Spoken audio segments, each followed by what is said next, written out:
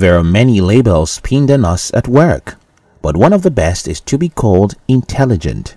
Contrarily to many people's view about intelligence, it is not just about having information.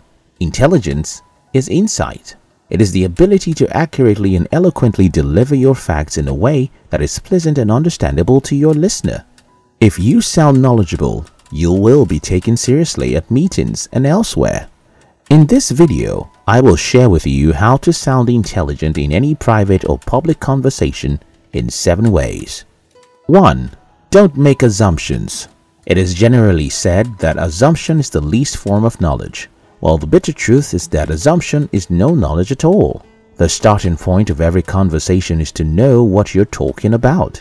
Assumptions are communication shortcuts, which often are the root of every miscommunication and misunderstanding. We assume that people know what we mean. We think that people interpret things the same way we do. We believe that we have been clear enough. These assumptions, however, do not portray us as astute. Instead, they can make the listener lose interest totally in the whole conversation. Besides, how would you feel about a person who from the beginning of the end of a conversation makes statements without facts to bolster them? Let me guess, an annoying blabber or an empty drum that makes noise. If you want to be perceived as an intelligent person in any conversation, you must learn to talk with facts. Do your research about the subject of discussion and make coherent remarks.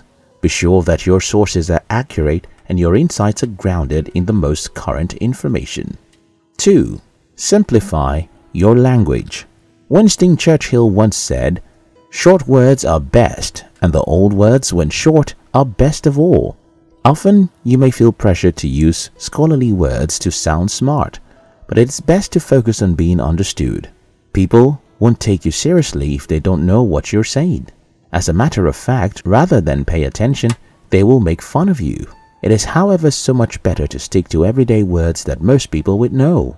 If you want to share an idea, try to use the best words.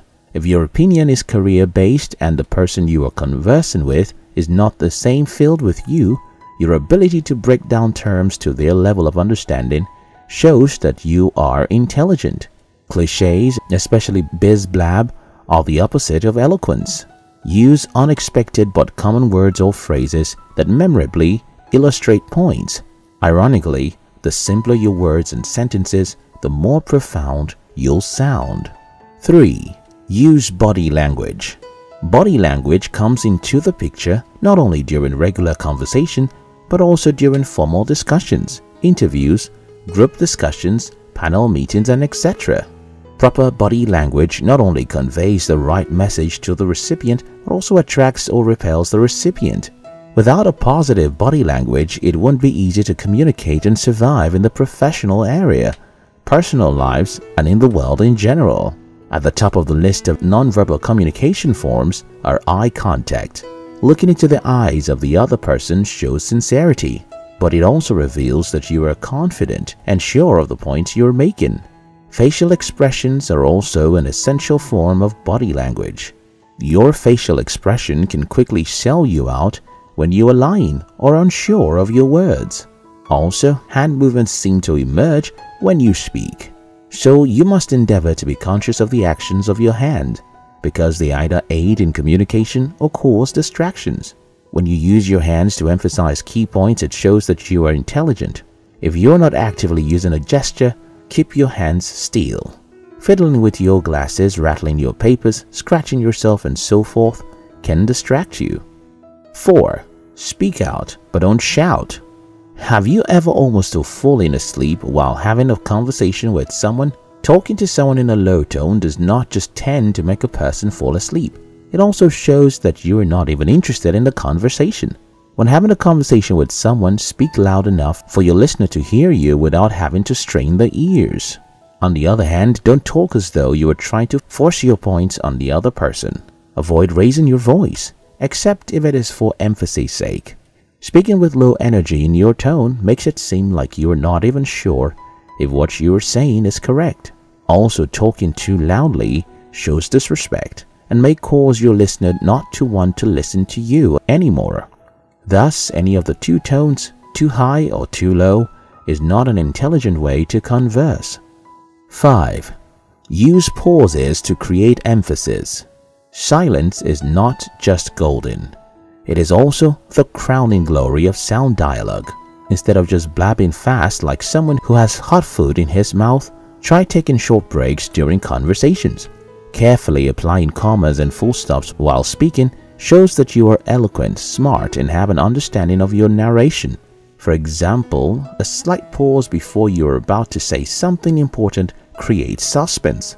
It makes the other person to be more interested in what you want to say and to hang on your every word. Similarly, a pause after you have said something important emphasizes its importance and gives your listener a moment to reflect on its importance. Besides that, giving the listener a moment to reflect, making pauses during conversation enables you to ascertain if the listener's attention is still concentrated on you or if they are no longer listening to you. This is a smart way of conversing. 6. Use active sentences. When the subject of your sentence acts, is called active voice, while passive voice happens when your subject receives the work. Generally, active voice is better, even in writing, because it's more concrete and concise than passive voice, which is usually vague. Practice phrasing your sentences so the subject is always acting. For instance, instead of saying the book was written by Ben Cassin, say Ben Cassin wrote the book. The first statement is a passive voice that places the subject Ben Cassin on the receiving end, rather than the performing side. Apart from the fact that using the passive voice for your conversation does not show that you are sound, some sentences when made with a passive voice can confuse your listener. 7. Eliminate filler words. You may accidentally use filler words without even knowing it. Now imagine a marketer walks up to you to persuade you to buy his goods and service, and throughout his speech he keeps saying, um, actually, like, and a whole lot of other filler words. Do you think you will be convinced to buy? Using filler words once or twice in a conversation is not out of place. However, when you use it too often, it spoils the whole discussion. Using filler words in an interview is unnecessary. They make you seem like you are unprepared or forgetful, and they distract your listener from paying attention to the central message of your speech.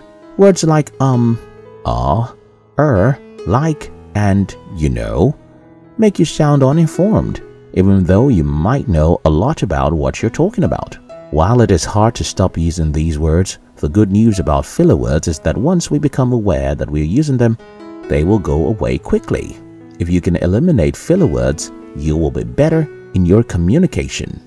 You don't need a vast vocabulary to sound smart in a conversation. Instead, focus on presenting your ideas clearly and understandably. With a few new habits, you can impress your friends, outshine your fellow students, or make waves at work.